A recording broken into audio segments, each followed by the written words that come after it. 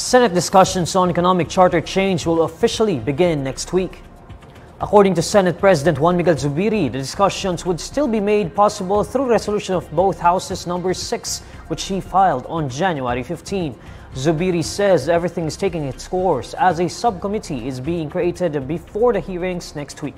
Resolution of both houses number 6 seeks to amend limited economic provisions of the Constitution, specifically public services, education, and advertising. It was filed in light of a signature campaign for charter change via People's Initiative.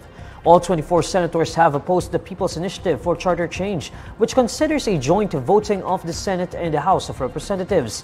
The upper chamber pointed out that they may easily be eclipsed by the House, which has over 300 lawmakers.